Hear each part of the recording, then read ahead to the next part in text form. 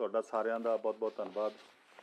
ਅੱਜ ਮਾਨਯੋਗ ਮੁੱਖ ਮੰਤਰੀ ਸਰਦਾਰ ਭਗਵੰਤ ਸਿੰਘ ਮਾਨ ਜੀ ਦੀ ਅਗਵਾਈ ਦੇ ਅਧੀਨ ਪੰਜਾਬ ਦੀ ਕੈਬਨਿਟ ਮੀਟਿੰਗ ਹੋਈ। ਉਸ ਮੀਟਿੰਗ ਦੇ ਅੰਦਰ ਪੰਜਾਬ ਦੇ ਲੋਕਾਂ ਦੀਆਂ ਮੰਗਾਂ ਨੂੰ ਮੁੱਖ ਰੱਖਦੇ ਹੋਏ ਬਹੁਤ ਸਾਰੇ ਪੰਜਾਬ ਪੱਖੀ ਫੈਸਲੇ ਲਏ ਗਏ, ਜਿਨ੍ਹਾਂ ਵਿੱਚੋਂ ਕੁਝ ਪ੍ਰਮੁੱਖ ਫੈਸਲੇ ਮੈਂ ਆਪਣਾ ਸਾਂਝੇ ਕਰ ਰਿਹਾ ਹਾਂ ਪੰਜਾਬ ਦੇ ਅੰਦਰ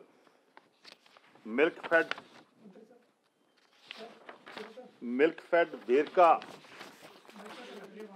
ਅੱਛਾ ਵੇਰਕਾ ਡਿਪਾਰਟਮੈਂਟ ਦੇ ਅੰਦਰ ਜਿਹੜਾ ਕਿ ਪੰਜਾਬ ਦਾ ਇੱਕ ਅਹਿਮ ਡਿਪਾਰਟਮੈਂਟ ਆ, ਜਿਹਦੇ ਵਿੱਚ ਲਗਭਗ ਪਿਛਲੇ 5 ਸਾਲਾਂ ਦੇ ਉੱਤੋਂ 500 ਤੋਂ ਵੱਧ ਅਸਾਮੀਆਂ ਪਿਛਲੇ 5 ਸਾਲਾਂ ਦੌਰਾਨ 500 ਤੋਂ ਵੱਧ ਅਸਾਮੀਆਂ ਖਾਲੀ ਹੋਈਆਂ ਨੇਗੀਆਂ ਔਰ ਉਹ ਸਾਰੀਆਂ ਅਸਾਮੀਆਂ ਨੂੰ ਸਿੱਧੀ ਭਰਤੀ ਰਾਹੀਂ ਅਸੀਂ ਪ੍ਰਵਾਨਗੀ ਦਿੱਤੀ ਆ ਕਿ 500 ਅਸਾਮੀਆਂ ਗਰੁੱਪ ਸੀ ਅਤੇ ਡੀ ਦੀਆਂ ਮਿਲਕ ਫੈਡ ਡਿਪਾਰਟਮੈਂਟ ਜਿਹੜਾ ਹੈਗਾ, ਉਹ ਭਰੂਗਾ। ਮੈਂ ਸਮਝਦਾ ਇਹਦੇ ਨਾਲ ਬੇਰਕਾ ਡਿਪਾਰਟਮੈਂਟ ਦੇ ਅੰਦਰ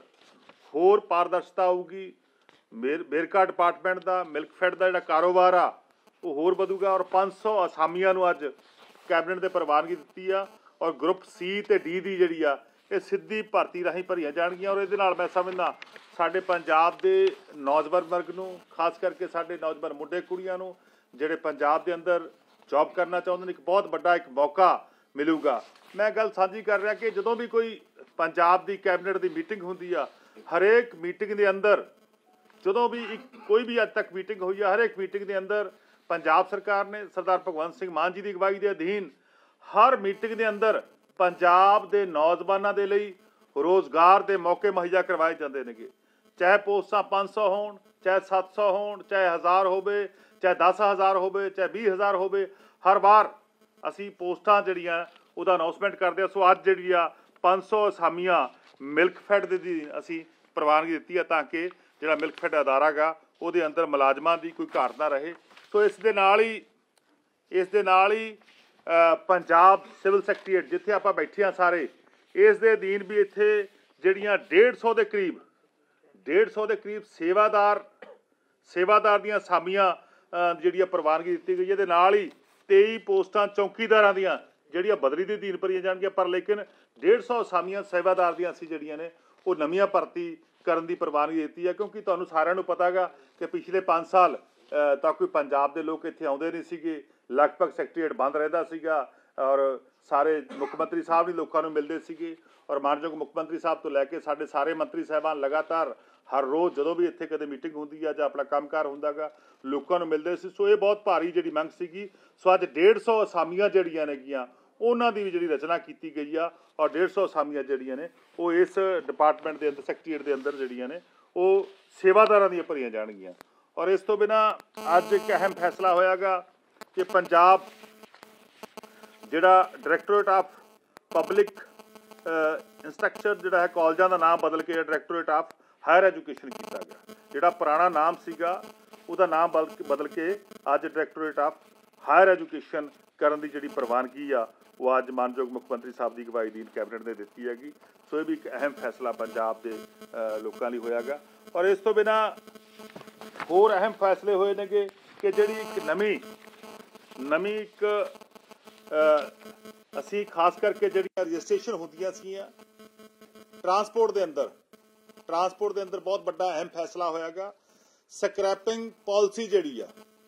ਸਕ੍ਰੈਪਿੰਗ ਪਾਲਿਸੀ ਜਿਹੜੀ ਆ, ਉਹਦੇ ਅਧੀਨ ਜਿਹੜੀਆਂ ਨਵੀਆਂ ਗੱਡੀਆਂ ਦੀ ਰਜਿਸਟ੍ਰੇਸ਼ਨ ਜਿਹੜੀ ਆ, ਉਹ ਕੀਤੀ ਜਾਊਗੀ ਔਰ ਉਹਦੇ ਵਿੱਚ ਅਸੀਂ ਟੈਕਸ ਦੀ ਛੋੜ ਦਿੱਤੀ ਆ ਔਰ ਪੁਰਾਣੀਆਂ ਗੱਡੀਆਂ ਜਿਨ੍ਹਾਂ ਦੇ ਕਰਕੇ ਮੈਂ ਸਮਝਦਾ ਕਾਫੀ ਸਾਰੇ ਕਿਤੇ ਨਾ ਕਿਤੇ ਬਹੁਤ ਸਾਰੇ ਐਕਸੀਡੈਂਟ ਵੀ ਹੁੰਦੇ ਸੀਗੇ, ਬਹੁਤ ਸਾਰਾ ਕਿਤੇ ਲਾ ਐਂਡ ਆਰਡਰ ਦੀ ਪੋਜੀਸ਼ਨ ਵੀ ਕਈ ਵਾਰ ਕ੍ਰੀਏਟ ਕਰ ਦਿੰਦੇ ਸੀਗੇ, ਉੱਥੇ ਵੀ ਕੋਈ ਨਾ ਕੋਈ ਹਰਡਲ ਕ੍ਰੀਏਟ ਕਰਦੇ ਸੀ। ਉਹਦੇ ਅਧੀਨ ਜਿਹੜਾ ਹੈਗਾ ਪੁਰਾਣੀਆਂ ਗੱਡੀਆਂ ਨੂੰ ਸਕ੍ਰੈਪ ਕੀਤਾ ਜਾਊਗਾ ਔਰ ਨਵੀਆਂ ਗੱਡੀਆਂ ਜਦੋਂ ਆਉਣਗੀਆਂ, ਜਿਹੜਾ ਵੀ ਮਾਲਕ ਪੁਰਾਣੀ ਗੱਡੀ ਨੂੰ ਸਕ੍ਰੈਪ ਕਰਾਊਗਾ ਜਾਂ ਉਸ ਸਕੀਮ ਦੇ ਅਧੀਨ ਲੈ ਕੇ ਆਊਗਾ, ਤਾਂ ਉਹਨੂੰ ਅਸੀਂ ਟੈਕਸ ਦੇ ਅਧੀਨ ਵੀ ਅਸੀਂ ਛੋਟ ਦੇਵਾਂਗੇ। ਜਦੋਂ ਰਜਿਸਟ੍ਰੇਸ਼ਨ ਟੈਕਸ ਦੇ ਅੰਦਰ ਛੋਟ ਦੇਵਾਂਗੇ ਤਾਂ ਕਿ ਇਹ ਸਕੀਮ ਜਿਹੜੀ ਆ 8 ਸਾਲ ਤੱਕ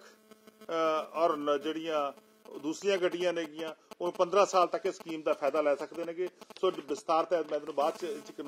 ਮੇਰਾ ਕਹਿੰਦਾ ਪਰ ਨਵੀਂ ਜਿਹੜੀ ਇੱਕ ਸਕ੍ਰੈਪ ਦੀ ਪਾਲਿਸੀ ਅਸੀਂ ਲੈ ਕੇ ਆਏਗੇ। ਇਸ ਤੋਂ ਇਲਾਵਾ ਇੱਕ ਬਹੁਤ ਹੀ ਅਹਿਮ ਫੈਸਲਾ,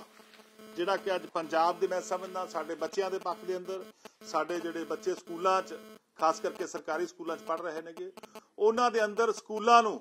ਸਕੂਲਾਂ ਦੀ ਸਾਫ਼ ਸਫ਼ਾਈ ਨੂੰ ਲੈ ਕੇ, ਸਕੂਲਾਂ ਦੀ ਸਿਕਿਉਰਿਟੀ ਨੂੰ ਲੈ ਕੇ, ਸਕੂਲਾਂ ਦੇ ਅੰਦਰ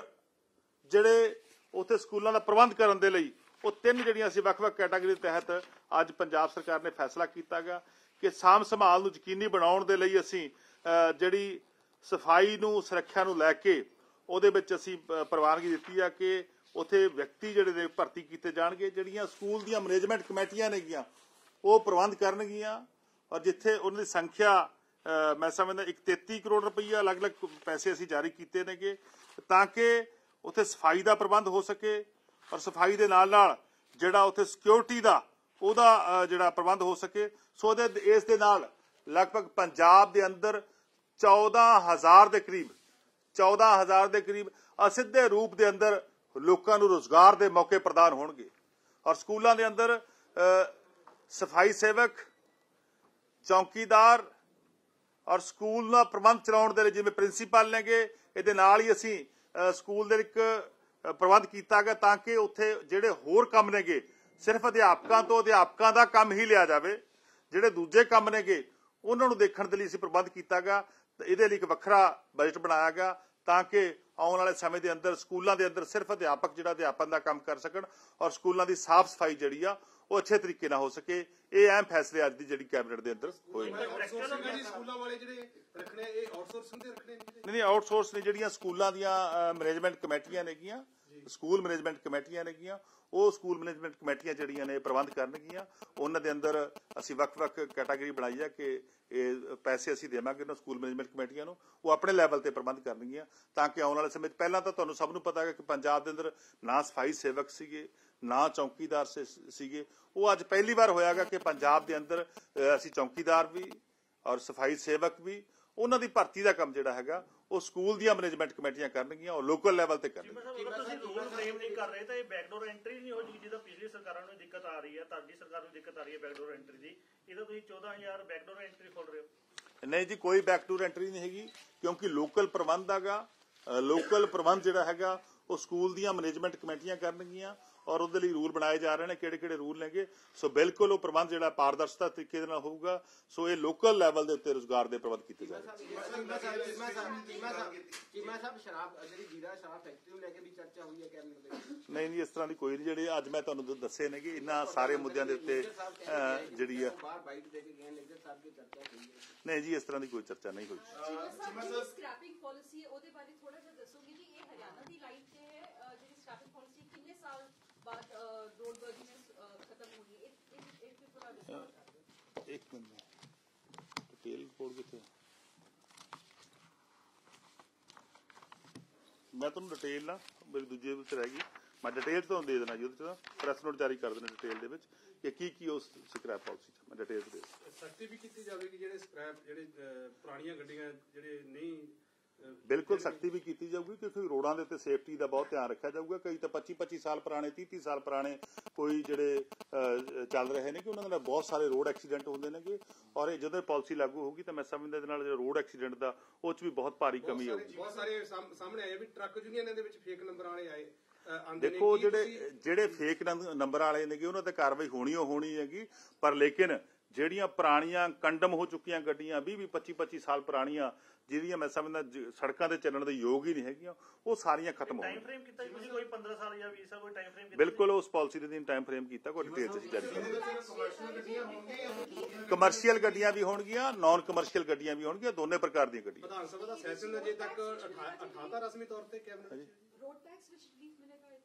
ਅਹ, ਹਾਂਜੀ ਰੋਡ ਟੈਕਸ ਦੇ ਚ ਰਿਲੀਫ ਦੇਵਾਂਗੇ, ਜਿਹੜੇ ਉਸ ਪਾਲਿਸੀ ਦੇ ਅਧੀਨ ਆਪਣੀਆਂ ਗੱਡੀਆਂ ਸਮੇਂ ਸਿਰ ਸਕ੍ਰੈਪ ਕਰਨੀਆਂ ਮੰਨ ਲਓ, ਪੁਰਾਣੀ ਗੱਡੀ ਸਕ੍ਰੈਪ ਕਰਦਾਗਾ। ਜੇ ਕਿਸੇ ਨੇ ਆਪਣੀ ਮਰੂਤੀ ਦੀ ਗੱਡੀ ਕੋਈ ਸਕ੍ਰੈਪ ਕੀਤੀ ਹੈ ਤਾਂ ਜੋ ਮਰੂਤੀ ਦੀ ਗੱਡੀ ਦੁਬਾਰਾ ਲਊਗਾ, ਤਾਂ ਉਹਦਾ- ਉਹਦੇ ਅਧੀਨ ਜਿਹੜਾ 5 ਤੋਂ ਲੈ ਕੇ 15% ਜਿਹੜੀ ਆ, ਅਸੀਂ ਉਹਨੂੰ ਟੈਕਸ ਦੇ ਵਿੱਚ ਛੋਟ ਦੇਵਾਂਗੇ। ਸਾਹਿਬ ਸੁੰਦਰ ਸ਼ਾਮ ਅਰੋੜਾ ਸਮੇਤ ਕੁਝ ਅਧਿਕਾਰੀਆਂ ਦੇ ਉੱਤੇ ਵੀ ਕਾਰਵਾਈ ਹੋਈ ਹੈ। ਅਧਿਕਾਰੀ ਵੀ ਬਹੁਤ ਸਾਰੇ ਜਿਹੜੇ ਨੇ, ਉਹ ਟਾਰਗੇਟ ਤੇ ਵੀ ਨੇ, ਜਿਨ੍ਹਾਂ ਨੇ ਕਰਪਸ਼ਨ ਕੀਤੀ ਹੈ। ਔਰ ਇਹ ਇਹ ਜਿਹੜਾ ਪੂਰਾ ਮਾਮਲਾ ਕਿਵੇਂ ਦੇਖਦੇ ਹੋ ਤੁਸੀਂ? ਦੇਖੋ ਕਰਪਸ਼ਨ ਦੇ ਅਗੇਂਸਟ ਪੰਜਾਬ ਦੇ ਅੰਦਰ ਆਮ ਆਦਮੀ ਪਾਰਟੀ ਨੂੰ ਪੰਜਾਬ ਦੇ ਲੋਕਾਂ ਨੇ ਭਾਰੀ ਪ੍ਰਚੰਡ ਬਹੁਮਤ ਇਸ ਕਰਕੇ ਦਿੱਤਾ ਸੀਗਾ ਔਰ ਸਾਡਾ ਨਾਰਾ ਸੀਗਾ ਕਿ ਪੰਜਾਬ ਵਿੱਚੋਂ ਕਰਪਸ਼ਨ ਜਿਹੜੀ ਆ, ਉਹਨੂੰ ਖਤਮ ਕਰਾਂਗੇ ਔਰ ਉਸ ਦੇ ਅਧੀਨ ਲਗਾਤਾਰ ਮਾਨਯੋਗ ਮੁੱਖ ਮੰਤਰੀ ਸਾਹਿਬ ਦੀ ਅਗਵਾਈ ਦੇ ਅਧੀਨ ਲਗਾਤਾਰ ਕਰਪਸ਼ਨ ਦੇ ਅਗੇਂਸਟ ਮੁਹਿੰਮ ਸਾਡੀ ਜਾਰੀ ਆ ਔਰ ਜਿੱਥੇ ਵੀ ਕਿਤੇ ਪੁਰਾਣੇ ਸਮਿਆਂ 'ਚ ਕਰਪਸ਼ਨ ਹੋਈ ਆ ਜਾਂ ਕੋਈ ਹੁਣ ਕਰੂਗਾ, ਚਾਹੇ ਉਹ ਸਾਡਾ, ਚਾਹੇ ਉਹ ਬਗਾਨਾ ਉਹਦੇ ਖਿਲਾਫ ਸਰਕਾਰ ਜਿਹੜੀ ਹੈ ਸਖਤ ਐਕਸ਼ਨ ਲਊਗੀ। ਇਹ ਤੁਹਾਨੂੰ ਪਤਾ ਹੈਗਾ ਕਿ ਜਦੋਂ ਅਸੀਂ ਆਪੋਜੀਸ਼ਨ ਦੇ ਅਧੀਨ ਸੀਗੇ, ਆਏ ਸੀਗੇ, ਜਦੋਂ ਪਿਛਲੇ 5 ਸਾਲ ਆਮ ਆਦਮੀ ਪਾਰਟੀ ਪੰਜਾਬ ਦੇ ਅੰਦਰ ਆਪੋਜੀਸ਼ਨ ਦੀ ਭੂਮਿਕਾ ਨਿਭਾ ਰਹੀ ਸੀ, ਉਦੋਂ ਇਸ਼ੂ ਜਿਹੜਾ ਹੈਗਾ, ਸਾਡੇ ਵੱਲੋਂ ਪੰਜਾਬ ਦੀ ਵਿਧਾਨ ਸਭਾ ਦੇ ਅੰਦਰ ਵੀ ਚੁੱਕਿਆ ਗਿਆ ਸੀ ਔਰ ਲੋਕਾਂ 'ਚ ਵੀ ਲੈ ਕੇ ਗਏ ਸੀਗੇ। ਔਰ ਉਸ ਸਮੇਂ ਕਾਂਗਰਸ ਪਾਰਟੀ ਦੀ ਸਰਕਾਰ ਸੀ। ਕਾਂਗਰਸ ਪਾਰਟੀ ਕਿਉਂਕਿ ਲਗਾਤਾਰ ਭ੍ਰਿਸ਼ਟਾਚਾਰੀ ਨੂੰ ਬਚਾਉਂਦੀ ਆ, ਖੁਦ ਇੱਕ ਭ੍ਰਿਸ਼ਟਾਚਾਰ ਦੀ ਜਮਾਤ ਆ ਗਈ। ਸੋ ਉਸ ਦੇ ਅਧੀਨ ਉਹਨਾਂ ਨੇ ਭ੍ਰਿਸ਼ਟਾਚਾਰੀ ਨੂੰ ਬਚਾ-